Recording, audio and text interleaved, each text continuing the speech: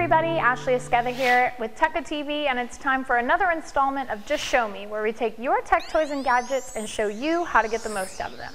Today, I'm going to show you how to set up a wireless internet connection for your Nintendo 3DS or for your child's 3DS. One of the best parts of using a 3DS is playing multiplayer with all kinds of people all over the globe. There are so many games that you can play with other friends or strangers. So let's set up our wireless internet. Just so you know, the browsing experience, there actually isn't an internet browser right now or downloading onto your SD card from an internet source currently. There will be an update for that shortly in the next few weeks. So let's go into your home screen. You're going to swipe all the way to the right, and you'll see a wrench that says System Settings. You want to click on that.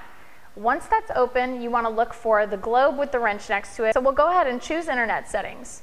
Now, what you want to do is you want to press the blue button that says connection settings. At this point, it will ask you to set up a new connection. You choose new connection, and there'll be a tutorial if you're really not sure what to do. There's actually a little helper that can help you do it, but for right now, we'll go through the manual setup. So what we want to do is you want to search for an access point. At this point, you're going to see a whole list of different internet connections. There could be multiple internet connections based on where you live. If you live in an apartment, there could be 20 internet connections, but you should know the name of your internet connection.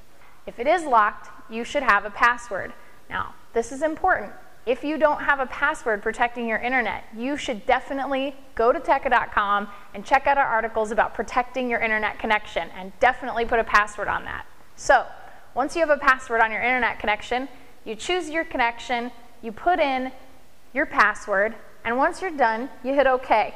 And at that point, it will ask to test the connection, and you can actually watch the screen as it tests your internet connection, and once it makes a connection with your internet, you are all set up for wireless internet on your 3DS. Well, I hope that's been helpful. I'm Ashley Esqueda, and that's been Just Show Me on Tecca TV. Be sure to check out all of our other content on Tecca.com, and we'll see you next time.